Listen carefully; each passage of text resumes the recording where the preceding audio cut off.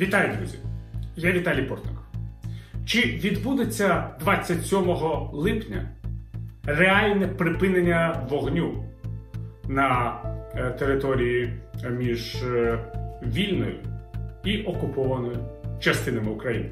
Президент Володимир Зеленський говорить, що він на це дуже сподівається і ініціює підписання угоди про припинення вогню керівниками всіх чотирьох країн нормандського формату: України, Німеччини, Франції і Росії.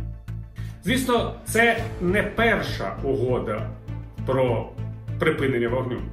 Такі домовленості досягалися багато разів під час українсько-російського конфлікту. І кожного разу сподівання виявлялися марним. Чи можна сподіватися на іншу ситуацію зараз?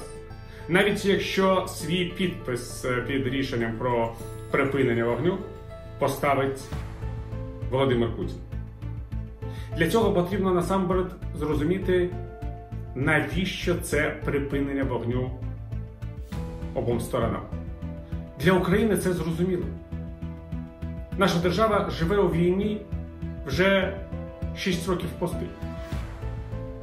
Гинуть українці, гинуть мирні мешканці. Ми знаходимося у стані перманентної дестабілізації. А от навіщо припинення вогню Росії? Що відбудеться, якщо з того боку перестануть стріляти?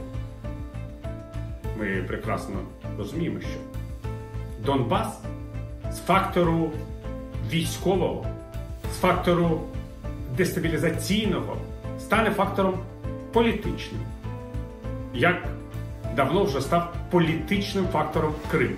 Про що ми дискутуємо, коли мова йде про Крим? Як тиснути на агресора у міжнародних організаціях?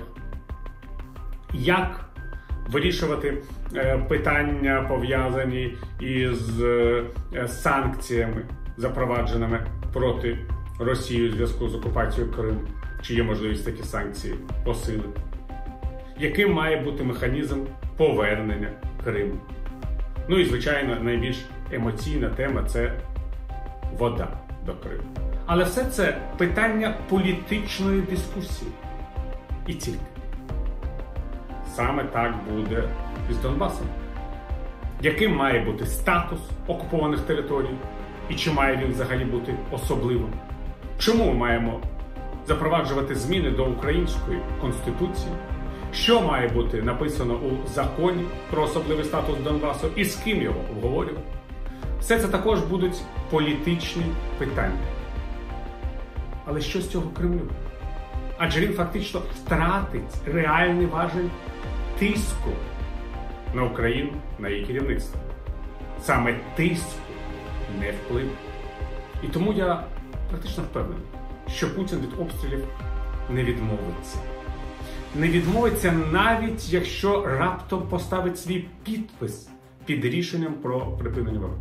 Тому що Росія завжди може сказати, що її там немає.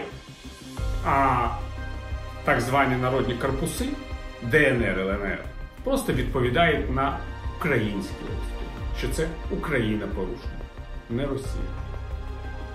Сподіватися на зміни на краще можна тільки коли Росія реально буде змінювати свою політику по відношенню до України, коли вона не буде прагнути на нас тиснути, не буде прагнути змінити політичний вибір українського народу, а буде прагнути до добросусідства. Однак мені здається, що в осяжній перспективі це дуже марні сподівання. Хай щастить.